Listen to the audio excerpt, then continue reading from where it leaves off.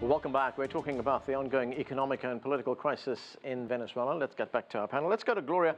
Gloria, uh, what is your response to the points that Eric just made? The fact that oil is now three times the price uh, it was when Hugo Chavez was in power. The other point that Eric makes is what happened to the trillions of dollars raised by the price of oil, and what of the government's failure to diversify its economy? Well, I greatly dispute that figure of trillions of dollars.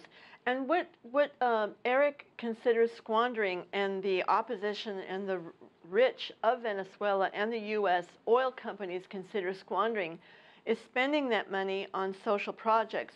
Despite the drop in oil prices, uh, the social spending has increased greatly even through these recent years.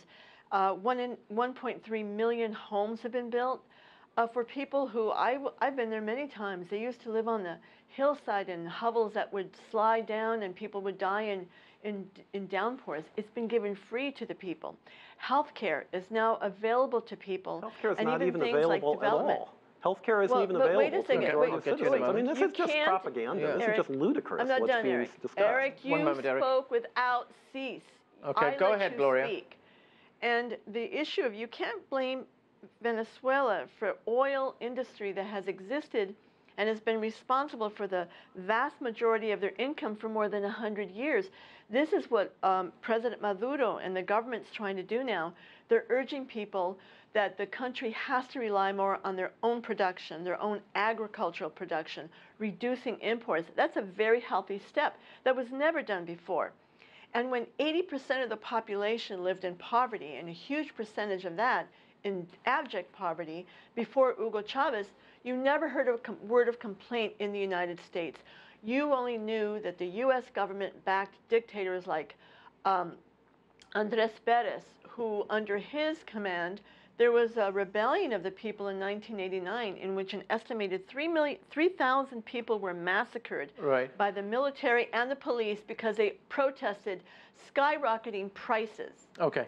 Thanks to that government. Okay, Eric, I'm going to give you a chance to quickly respond to that. I don't want to respond. I just, mm -hmm. I mean, it's just fundamentally wrong. And, you know, to have this cavalcade of statistics that are generated out of thin air, it just you don't need to respond to that. But I mean, I think the They're reality facts. in Venezuela okay. is fundamentally the, the health care is unavailable, food is increasingly unavailable, people are actually starving to death in a country that maintains the world's largest proven reserves of oil, and you have crime, street crime, that's out of control by a government that can't control uh, the security of the streets. I mean, this is a this is a country that's in full-scale collapse, mm. and anything to try to say that somehow it's really a paradise, I think is just wrong. Okay, let me go to Luis in Sydney. Luis, uh, there's been a meeting in Mexico. That's the meeting uh, of the Organization for American States. Ministers have been meeting. They tabled a resolution calling for an end to this political crisis in Venezuela. That resolution did not pass.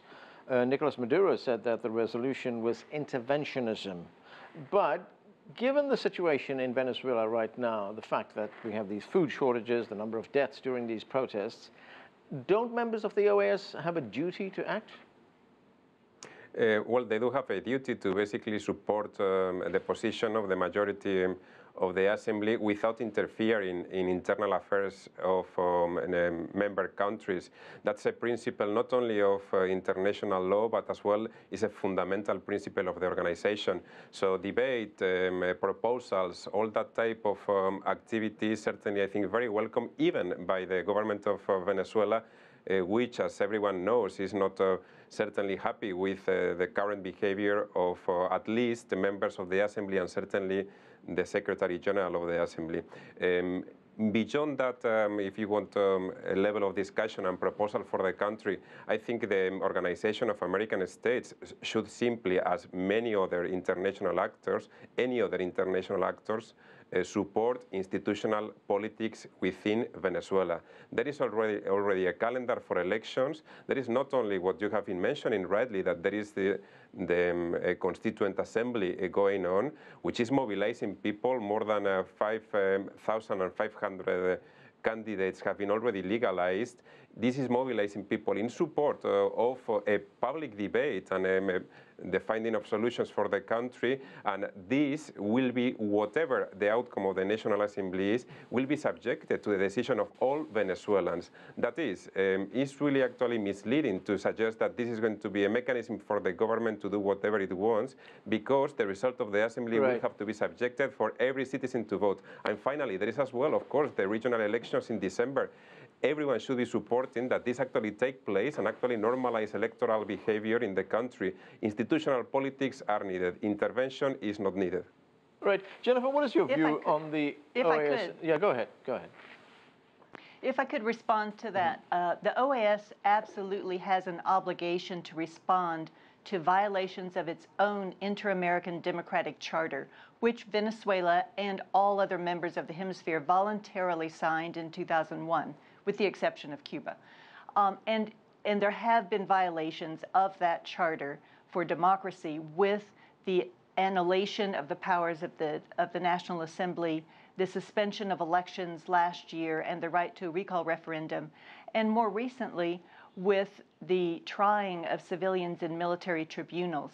So there have been a number of violations for the OAS to respond to, but the point is for the international institutions, organizations, uh, UNASUR and others that the that Venezuela is a member of, they're all trying to offer help to the Venezuelans to come out of this conflict as well as the dire economic and social situation.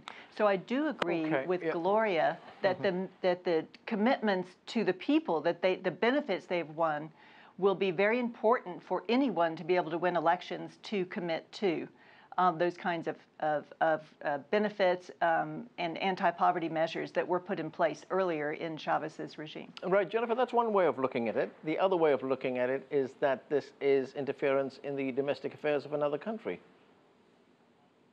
It, it is. Not And when actually, they've well, all- following Luis, I'll what get you in a moment. said, I'll get you in a moment, Yeah. Luis. Go ahead, Jennifer.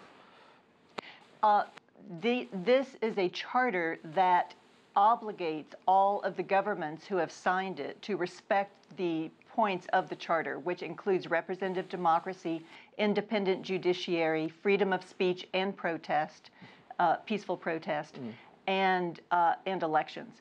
So when that's violated, those are considered universal human rights, and the Okay. charter says that. Gloria, I will get to you. I just want to get Luis's point in. Go ahead, Luis.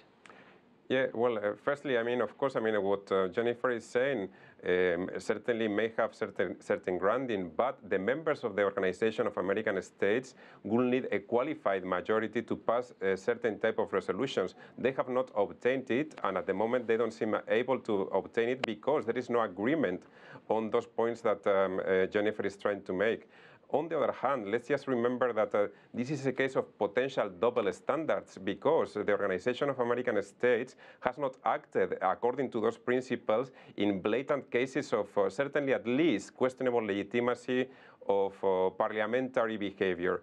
Let's call, um, let- let's recall what some people uh, denominate the parliamentary coups that have taken place in Paraguay in 2000, uh, 2012, uh, most recently in Brazil in 2016, previously in Honduras in 2009 with very poor results. The Organization of American States didn't react to those events in a way that uh, should be, according to their principles, have been um, um, materializing. Okay, Gloria, go ahead.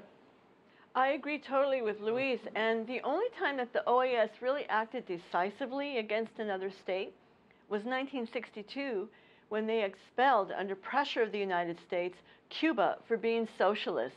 And this is the second circumstance in which the head of the OAS is attempting the same. Uh, it is a political tool and a weapon, actually, the, the Democratic Charter.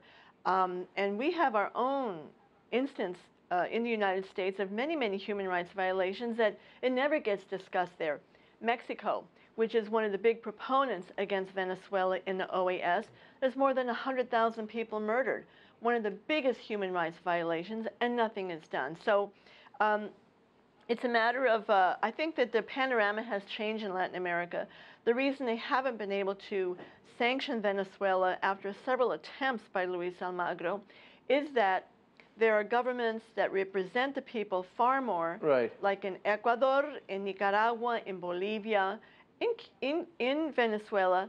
But Cuba still refuses to join, and I believe for good reason. They don't accept the, the legitimacy of the OAS Yeah. anymore. Right, let me get Eric's view on this. Eric, uh, what do you make of the OAS involvement? Was it a mistake, or could there have been a different approach to this?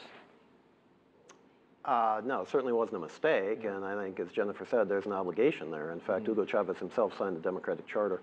Uh, so, uh, yes, it's true that they haven't been able to get the required number of votes to take uh, votes of member states to take action, but I think that's more a, a signal of the regional government's unwillingness Right. to weigh in as opposed to the uh, whether or not it was a wise thing to do. But I, you know, I, look, Luis Almagro is a Uruguayan former foreign minister. He's fully independent. Uh, he's taken a very courageous stand um, Yeah. he, to, to try to highlight the degeneration of democracy in Venezuela and the crisis that currently exists. Without the OAS involvement, uh, it's hard to see a path forward in Venezuela. It really is a path forward that doesn't include continued collapse Right. and at some point some sort of uh, a social uh, of confrontation. Okay, and that's where we have to leave it. Thanks to all of you for being with us. That's it for this edition of The Heat. I'm Anand Naidu in Washington, D.C. Thanks for being with us.